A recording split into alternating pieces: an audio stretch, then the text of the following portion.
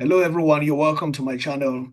In this video, I will be discussing the topic differentiation.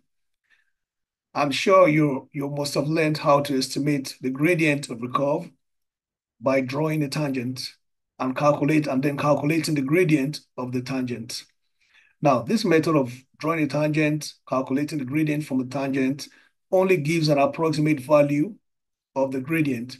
And the reason is because of the inaccuracy of drawing the tangent and also um, as well as also the time, it's also time consuming.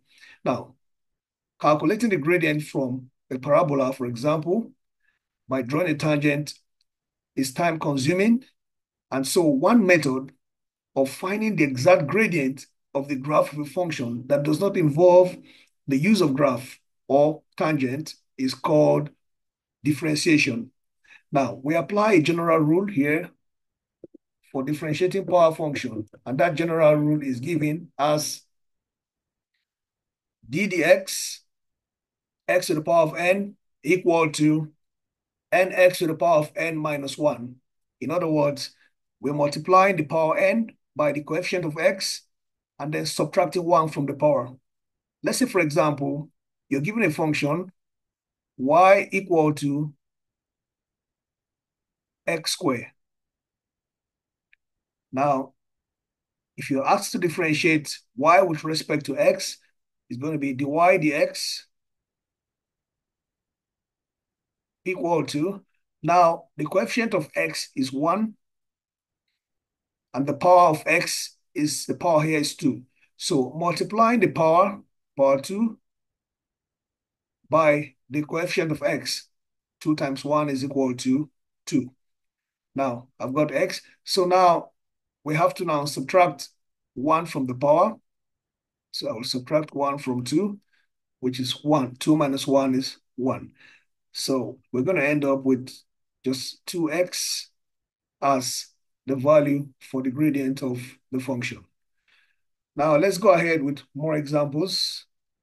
Find the gradient of the curve y equal to 2x minus 3 in bracket to the power of 5 at the point 2 to 1. Okay, the point on the parabola on the curve with the coordinate x, x and y coordinate 2 to 1. So the x and y coordinate is 2 to 1. Now, to find the, the gradient of this curve, we have to, at this point, we can expand the bracket and differentiate separately. But this will be time consuming. So the most efficient method that is applicable in this case is the, the, the method we call the chain rule. Chain rule. Now, the chain rule states that the dy dx is equal to dy du times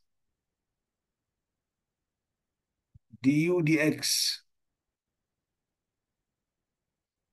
So this is the method we're going to be applying to solve the problem.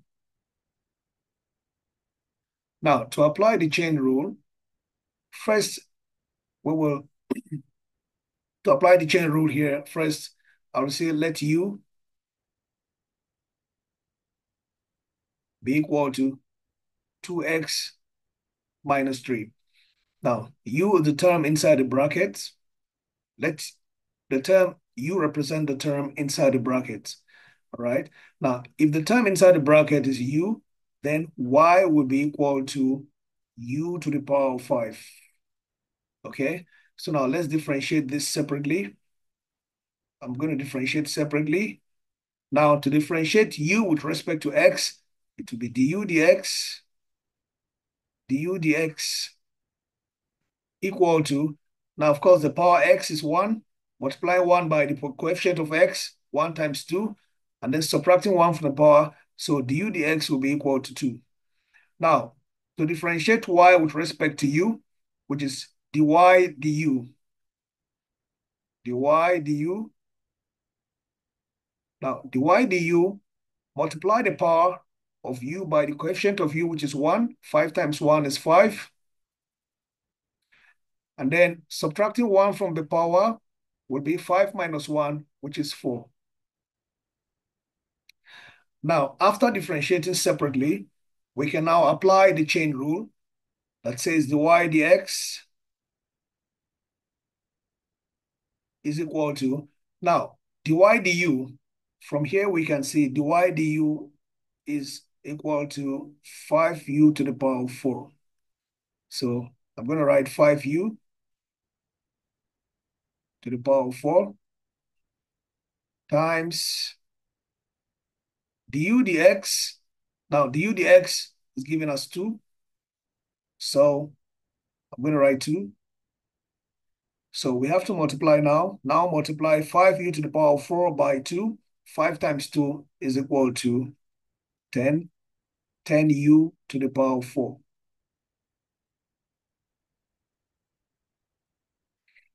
Now, of course, the uh, there is an expression for u, so we can replace u with the expression 2x minus 3.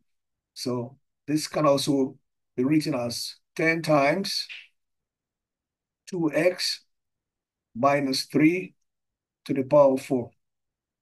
Now, to, to find the final value or to get the final value or the exact value for the gradient of the curve at the point 2 to 1, so the point on the curve, we have an x and y coordinate of 2 to 1. So I will substitute the value of x, which is 2, into the expression here. So we have to substitute now to find the exact value of the gradient. And here we've got 10, the bracket, 2 times 2, minus 3 to the power of 4. Okay? Now, 2 times 2 is 4. So we've got 10 times. Now, here, 2 times 2, 4. 4 minus 3, 1. 1 to the power of 4. Of course, 1 to the power of 4 is 1. So which means 10 times 1 is going to be 10. So the exact value of the gradient of the curve is 10. Now, I want you to give this a try to differentiate with respect to x, the square root of 2x plus 3 and leave your answer in the comment section. If you enjoy my lesson, don't forget to subscribe to my channel, to share and give us a massive like. Thank you.